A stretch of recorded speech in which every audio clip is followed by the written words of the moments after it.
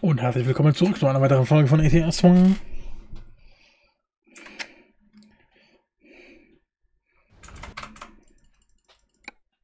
So, wir fahren dann mal zur Werkstatt, wo wir schon den Marker gesetzt haben. Ich trinke mal ganz kurz was.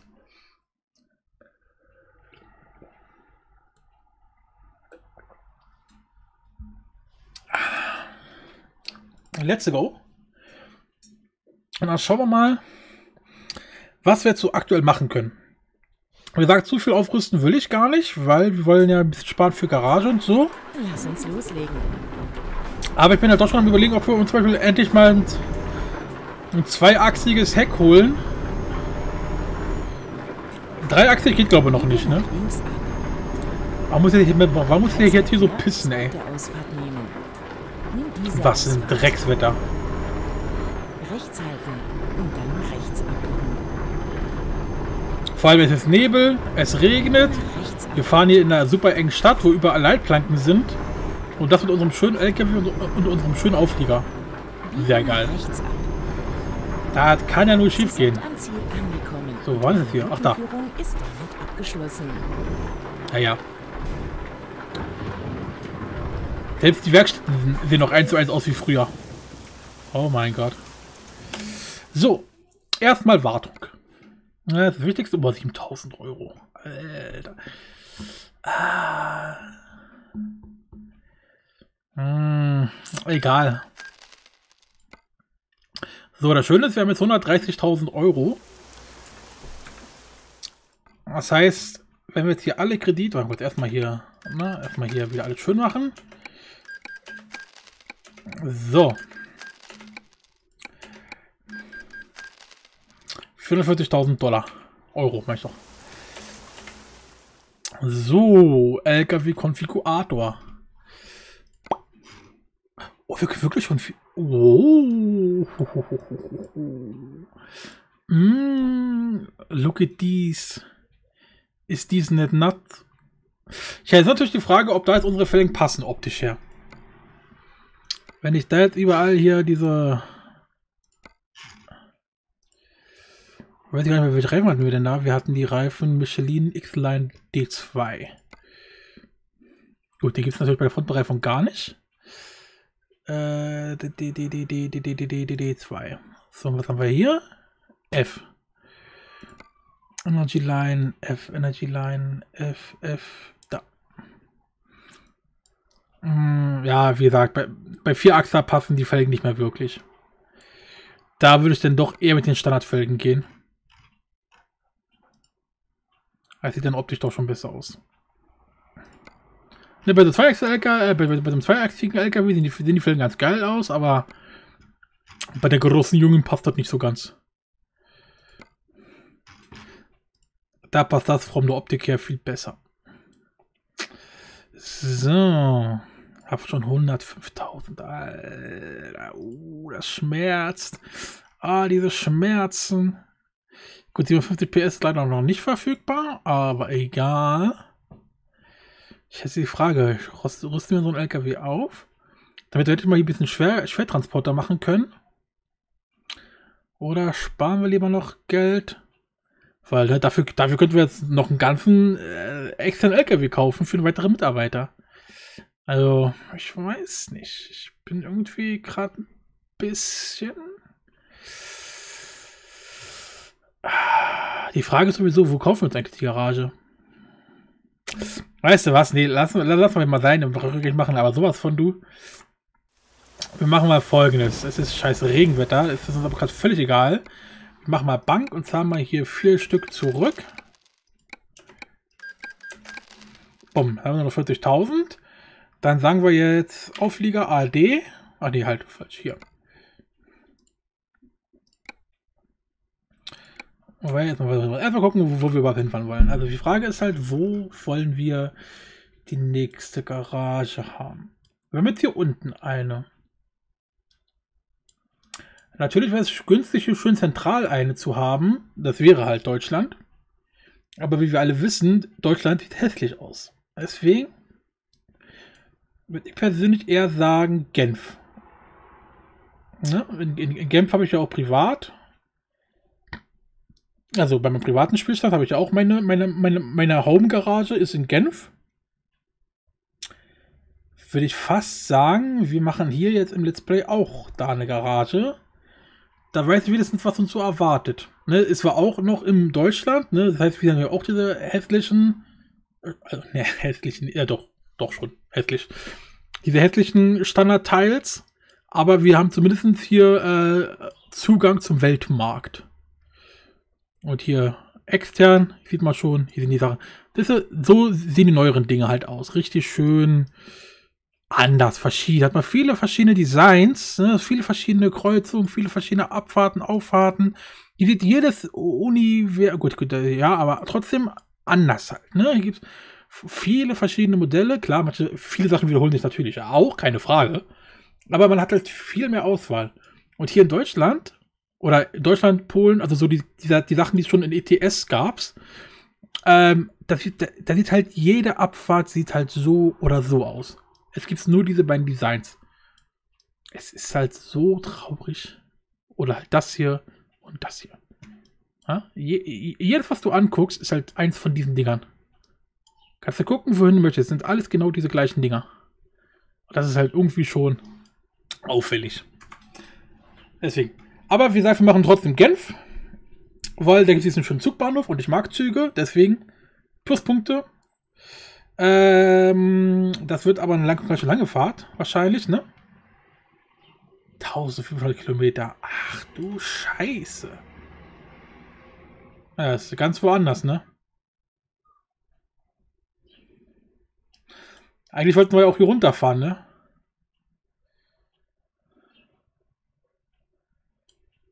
Weißt du was? Wir machen es anders. Ich weiß nicht, ob das gut ist. Wahrscheinlich ist das gar nicht gut. Nein, ich wollte. Ah. Wenn wir jetzt eine Schnellreise machen zu unserer Heimatgarage. Ich weiß gerade gar nicht, wo die war, aber das, die war ja. Wo warten die? War die hier ganz oben? Nee, ne?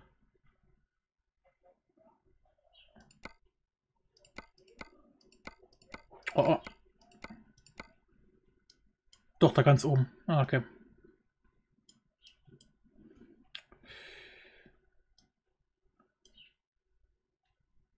Gut.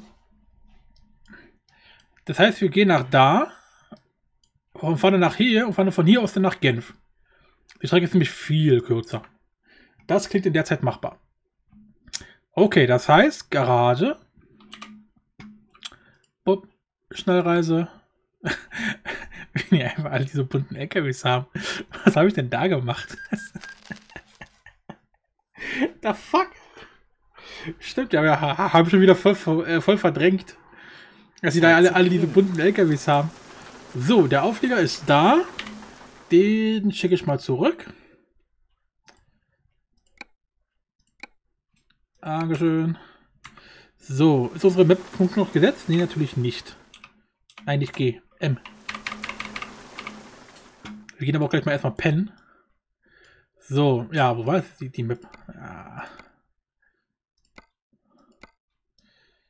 Hä? Wieso ist bei Standard die eine Garage gar nicht angezeigt?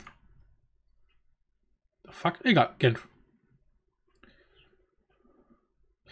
So, da wollen wir hin. Los. Let's go. Aber wie gesagt, wir gehen erstmal pennen, weil im Regen fahren, kein Bock.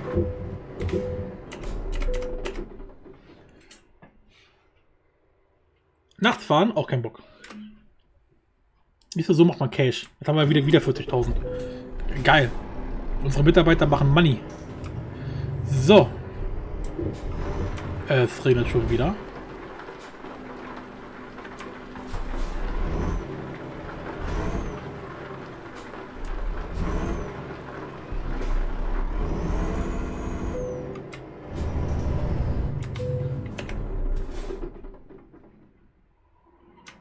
Wird aber wieder dunkel. Es regnet, es, es regnet immer noch, oder?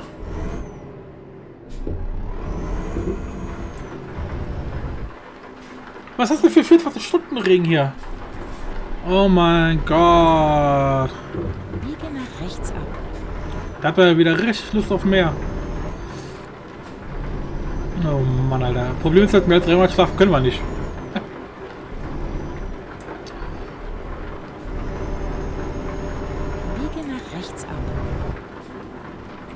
Habe ich ja extra den Auflieger abgekoppelt, damit wir ein bisschen windiger sind und ein bisschen schneller hinkommen. Und was jetzt, jetzt regelt die ganze Zeit, sodass wir überhaupt keine Haftung haben.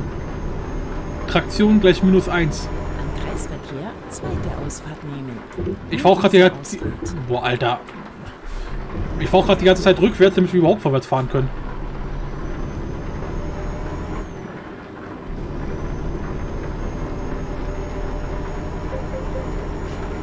Vor allem man sieht halt nichts.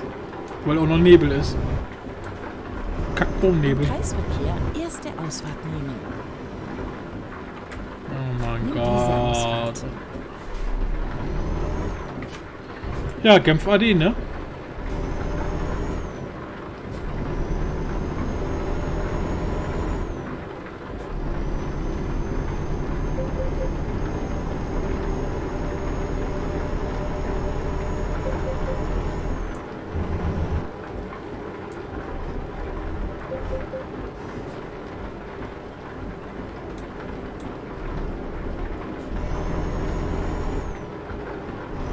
Am Kreisverkehr zweite Ausfahrt nehmen. Nimm diese Ausfahrt. Schön, wie diese europäischen LKWs immer nach vorne umfallen, wenn der bremst, ne? Oder, oder, oder dass man komplett die Spur verlierst. Oh, da ist schon wieder Zug. Oh, wie cool. Guckt euch diesen Zug an. Er ist so schön. Schaut ihn euch an. Oh, Alter, dieser Regen. Traktion gleich null. Komplett eingeschlagen und der LKW fährt einfach geradeaus weiter. Nice.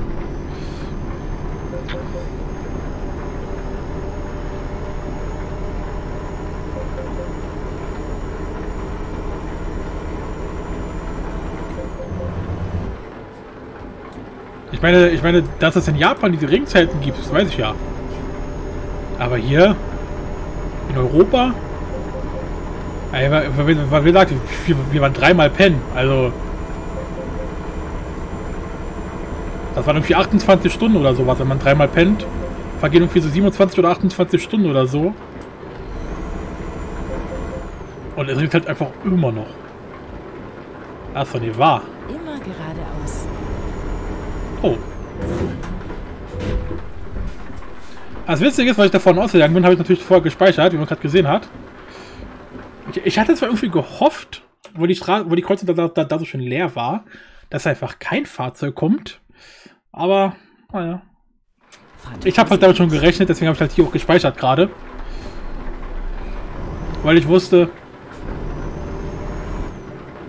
Ist halt so schön leer, weißt du? Und dann, genau dann, wenn ich komme, kommt, kommt ein Bus.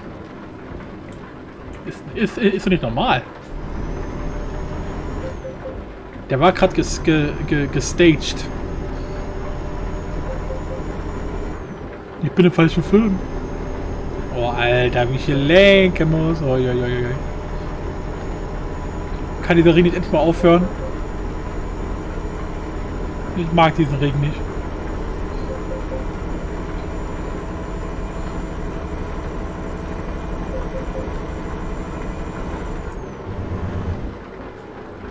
Wow, Alter. Wie gesagt, europäische LKWs ohne Auflieger zu fahren, ist halt schon gefährlich. Weil du darfst halt nicht bremsen. Und in einer Gefahrensituation ist das Bremsen immer das Erste, was du machst. Ausweichen und bremsen. Und wenn du dann dabei dann erst recht die Spur verlierst, problematisch. Ich meine, gut, echte LKWs haben ja sowas wie ABS und äh, andere Sicherheitsmaßnahmen, aber der, die gibt es natürlich hier in-game nicht.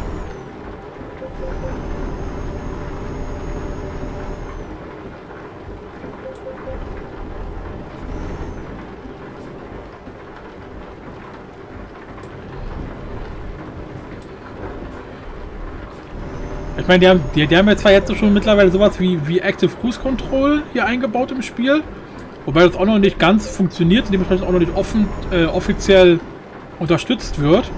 Aber die Funktionalität an sich ist schon mal da. Äh, halt noch sehr buggy. Aber wäre es schon cool, wenn man irgendwann wirklich so eine, so eine Spurhalter-Assistenten hier drin hat. Und halt sowas wie ABS und andere Anti-Ausbrechsysteme. Das würde das Leben schon drastisch einfacher machen.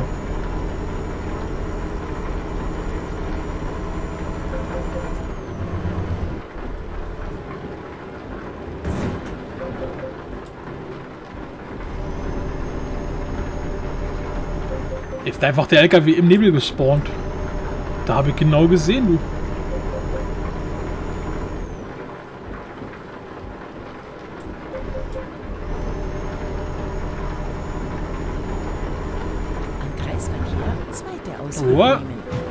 Oh, oh. Digga!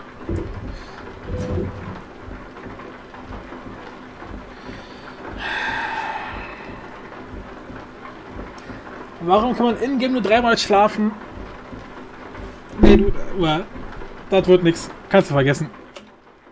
Achso, jetzt habe ich natürlich, äh, äh, habe hab ich noch ein Safe wo ich in der Garage war? Nee, ne?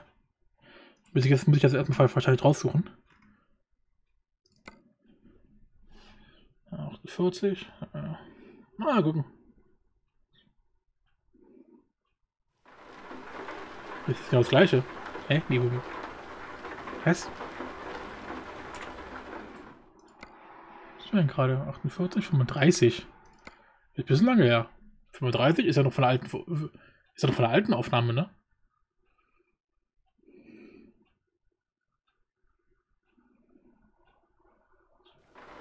Ja, ist auch von der alten Aufnahme. Egal. Fähigkeitspunkt habe ich aber schon vergeben, ne? Genau. Es, weißt du, es, regnet einfach hier schon. Das, ist, das, das kannst du nicht machen, das funktioniert nicht. So funktioniert Physik nicht. Leider schon. Ne, ist, ist, ist ja durchaus möglich, dass es mal zwei Tage durchregnet. Aber wie gesagt, es ist halt Schwierig. Garage. Aufliegermanager. Zurückschicken.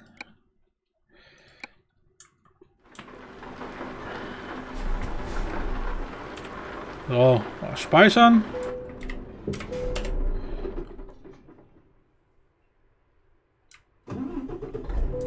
Oh, jetzt regnet es nicht, ist aber dafür mitten in der Nacht.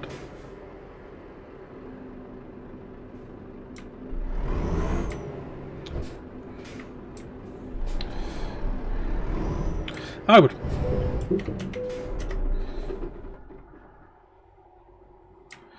So. Schon aber kein Ring mehr. Easy. Warum kann ich einfach Schnellreisen machen? Garagen kaufen. Manu.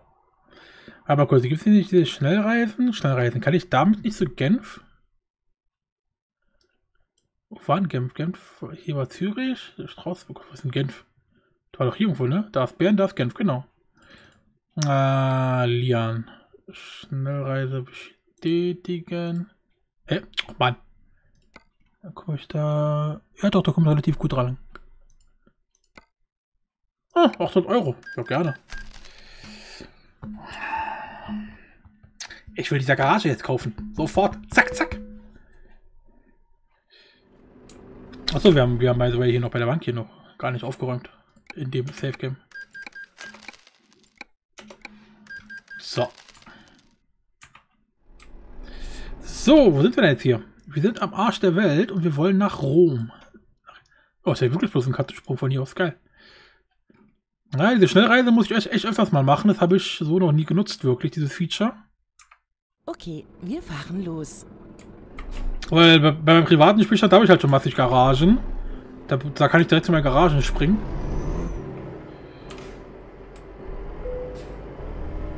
Äh, Renault-Händler. Neue Arbeitsagentur. Ah, der ploppt doch schon wieder alles auf. Halt, halt, halt. Ich habe Vorfahrt. Mädel. Junger. Am Kreisverkehr dritte Ausfahrt nehmen.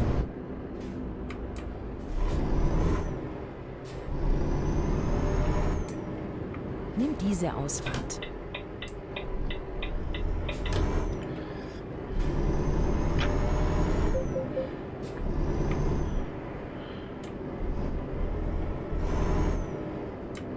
Am Kreisverkehr dritte Ausfahrt nehmen.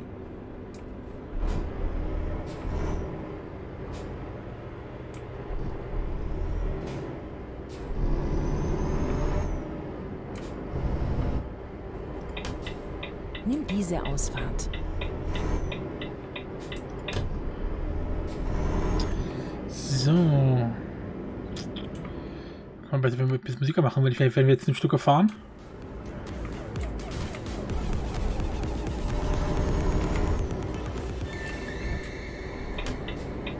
Straße frei, Straße frei. Rechts halten und dann Ausfahrt rechts nehmen. So, jetzt geht's hier aber abgeschmissen. Achso, wieder runter. Wow. Die Ausfahrt rechts.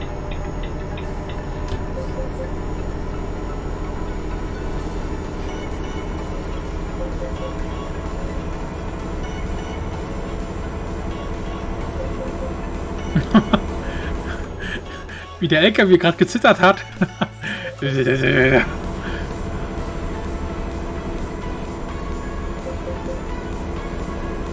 Ist so liegt man in der Kurve. Dreck, Regen, Alter. Wie gesagt, Bremsen immer noch gefährlich, weil ohne Auflieger und so. Aber zumindest können wir wieder ordentlich durch die Kurven fahren.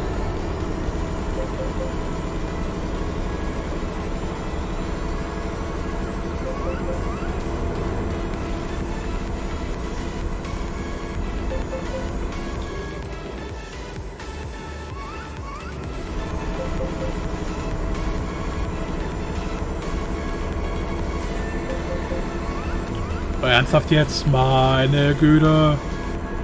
Rechts halten und dann Ausfahrt rechts Ich bin auch schon rechts. Wie, wäre, wie, wie, wie der rechts denn bitte noch?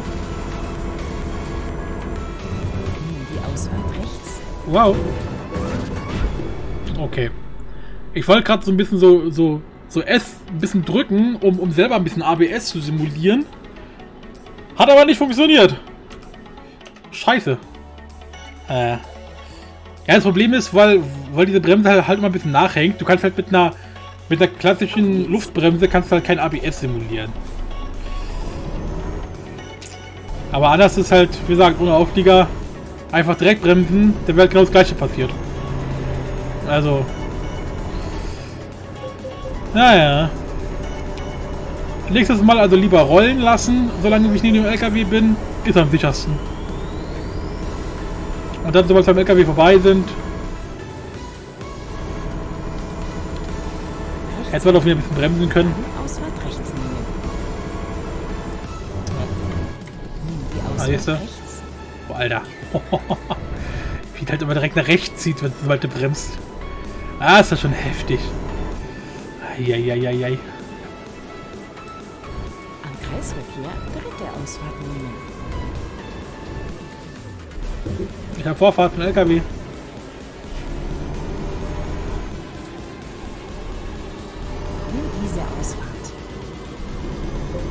So, dann müssen wir mittlerweile fast vor 130 Kilometer haben wir noch vor uns. Warum? Am Kreisverkehr erste Ausfahrt nehmen. Yeah! Uh. Ausfahrt.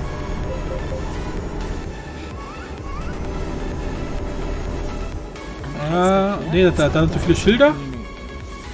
Nimm diese Ausfahrt.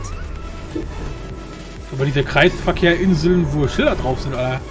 Kannst du gar nicht mit 180 drüber prellern. Kreisverkehr zweite Ausfahrt nehmen. Die auch schon wieder.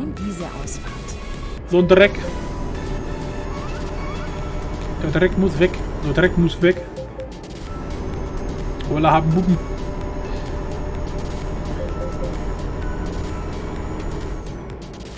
Hier wieder schon eine Linkskurve, wo man den Gegenverkehr nicht sieht. Ich meine, wenigstens ohne Nebel diesmal, aber trotzdem. Kommt da wer? Hallo? Nö, kommt keiner.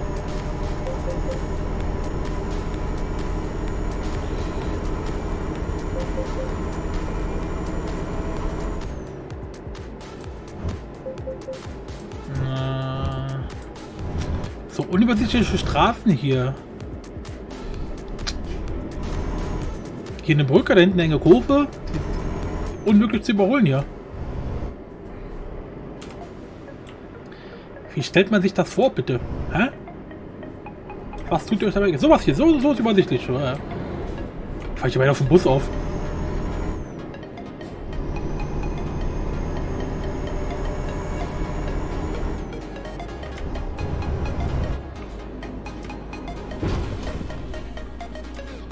Weg da! Das ist meine Welt. Steht da hier rum, Alter. Was ist los mit dem?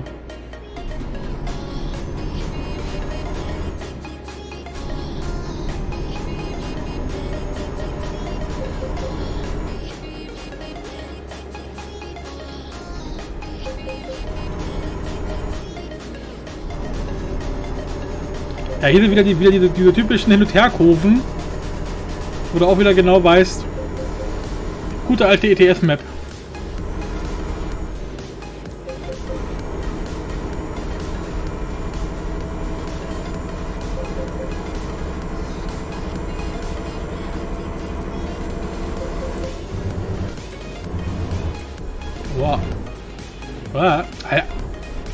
Allen Dingen, das, das Stimme ist, wie gesagt, ich, ich, ich probiere so ein bisschen ABS nachzumachen. Aber das Witzige ist halt, wenn du bremst und dann- dann die S-Taste loslässt und du quasi schon wieder vom, von, von der Bremse eigentlich runter bist, dann fängt das an auszubrechen auf einmal. Also so, so, so völlig asynchron. Das macht das Ganze halt sehr unberechenbar.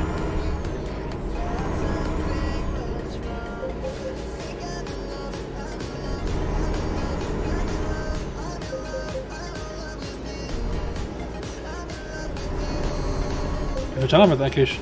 Oh, 7% schon wieder. Äh. Achso, war, war, waren wir jetzt eigentlich schon in der Werkstatt? Nee, ne?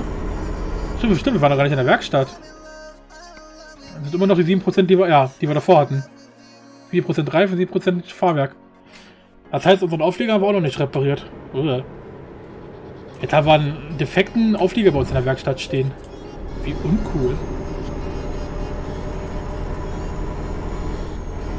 Wobei, das kann man ja, die kann man glaube ich auch aus der, oh, hier raus machen, ne? Reparieren, reparieren, reparieren, anpassen kann man nur. Hm. Ja, kannst du nur anpassen. Reparieren kannst du von hier aus jetzt normalerweise nicht. Ah, ja, gut.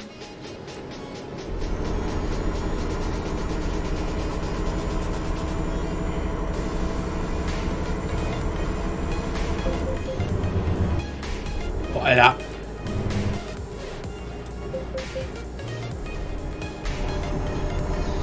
Oh, getankt haben wir auch noch nicht.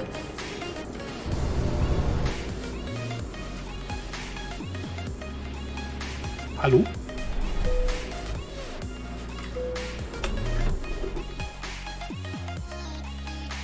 Ja, vielleicht, vielleicht auf, wenn man ohne Auflieger fährt. Ja, am geilsten wäre halt mit, mit, mit Pedalen zu spielen, ne? Ganz klassisch. Da kannst du einstellen, wie stark du bremst. Äh, oder halt zumindest, wenn man keine Pedale hat, so wie ich jetzt, gucken, dass man statt mit der mit der mit der äh, Luftdruckbremse lieber den diesen hier diesen Vitada einstellt, weil den Vitada da gibt gibt's ja diese Tasten, um den zu erhöhen und zu senken. Und vielleicht wäre das denn doch sinnvoller.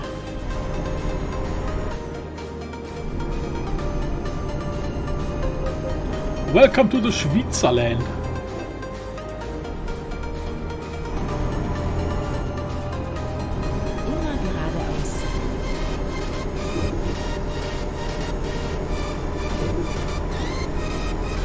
Und da vorne ist Genf. Wow, Alter, wow, wow, wow, wow,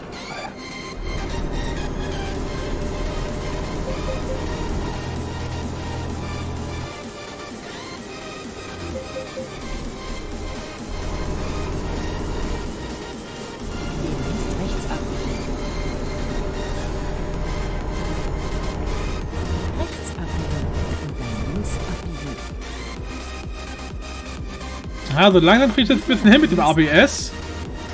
Emulator. Demnächst rechts abbiegen. Aber es ist immer noch schwer. Ah ne, so ist zu lang, äh, also zu schwach. Abbiegen Und dann links halten. Naja, wie gesagt, dieses, dieses verzögerte Bremsen ist halt problematisch. Weil, wenn du bremst, dann, bremst er nicht sofort mit der richtigen Bremse, sondern, sondern der macht ja komische, komische Sachen. Deswegen hat sie auch nicht immer direkt Bremskraft. Weswegen der auch, wenn du, obwohl du eigentlich schon bremst, trotzdem dem Verkehr noch hinten rauf rast. Weil er irgendwie erstmal viel später erst anfängt zu, zu bremsen. Aber das Problem ist halt, wenn er denn bremst, der bremst halt doch gleich halt ziemlich stark. Ah, da ist sie die Garage. Äh, ja, mit dem Effekt, dass man den halt auch schon ausbricht.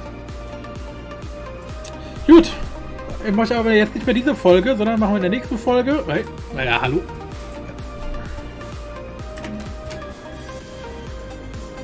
Ja, roll halt selbst mit Handbremse noch drei Meter. Digga, was ist los hier? Hier doch. Holy moly. So, wir speichern an der Stelle und machen an der Stelle morgen weiter. Den Garage kaufen. Also erstmal Geld von Bank holen und so. Dann Garage kaufen. Dann können wir uns wahrscheinlich mindestens so zwei LKW kaufen. Und dann mal gucken, wie viel noch übrig bleibt. Müsste reichen. Müsste passen. Ja, von daher. Ähm, genau. Ja, nee. bis dann.